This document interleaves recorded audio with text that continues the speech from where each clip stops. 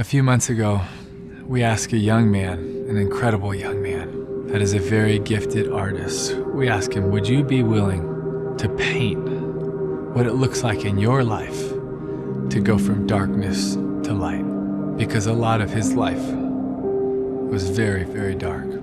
His name is Vadim. He's from the Ukraine, and he was born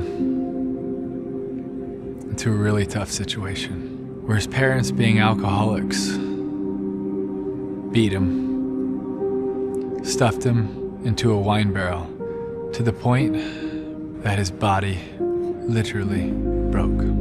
They cut open the top of the wine barrel just so he could have air and be able to see out just a little bit. That was the beginning for Vadim. And then at the age of nine, Vadim was sent to an orphanage. But at the orphanage, things got worse. You say, how could it get worse? His body was broken because he was stuffed in a wine barrel. How could it get worse? Well, because he was tortured. Well, because his lower body didn't work. And he stayed on the third floor of this orphanage. Every day he would have to crawl up using his hands to get to the third floor. And then when it was time to eat, all the kids would run down and he would be the last one down and there would be no food. And even the, the older kids, if there was food, they would take it from him because they could. That was life for Vadim until he was 14. And some incredible people who knew the hope and the light walked into that orphanage. And they told Vadim about a man that loves him, a man named Jesus that died for him because he loved him that much. And Vadim said yes to this man, and his life was changed instantly.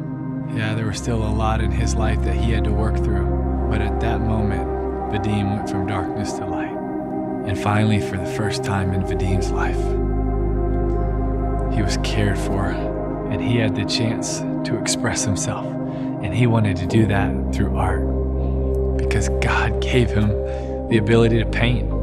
And now Vadim, that boy whose body was broken, who was beaten, who was tortured, who was malnourished, who wasn't wanted, is now married with a child of his own.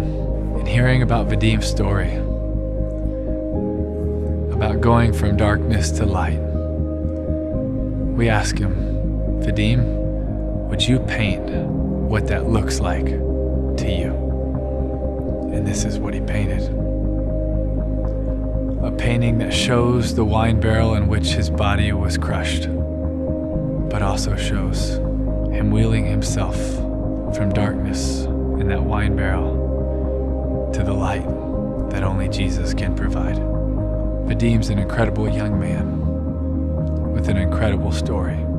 But Vadim is getting to live in the light because people had the courage to go. That is what my birthday campaign is all about going to the hardest, farthest places, entering chaos, so that every boy and girl, just like Vadim, knows that there are people that care about them, but more than that, knows there's a God that cares about them, that truly makes darkness go to light.